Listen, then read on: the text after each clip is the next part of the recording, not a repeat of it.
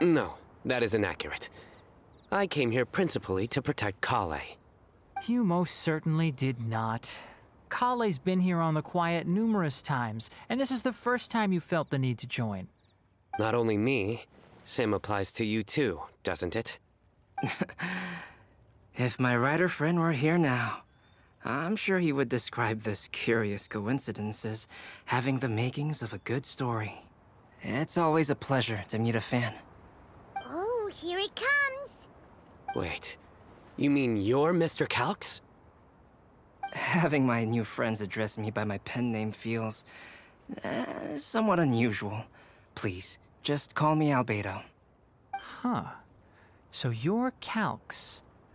Cyno's been talking about you non-stop recently. He's intent on getting you to design a bespoke card back for him. Uh, you didn't have to say all that. I don't usually take private commissions, but I believe that we are friends now, all of us.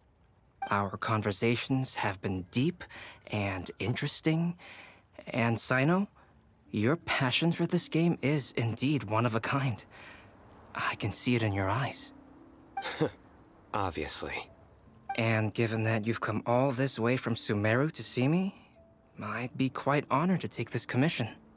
Wow, your teacher's so nice. I feel the same about yours. Um, well, they definitely have different personalities, but they're similar when it comes to their character. So, how much should I budget for the timeless masterpiece you will produce for me? Surely, timeless masterpiece is something of an overstatement. Any artwork fit to appear on the reverse of my card decks is by definition a timeless masterpiece, even if I do say so myself. Don't mind him. These TCG nut jobs are all like this. I see. So, this has an almost religious significance. Well, for starters, I'd like to hear a few more of your jokes. Uh, my jokes? You like them? I do. Really? I didn't see you laughing.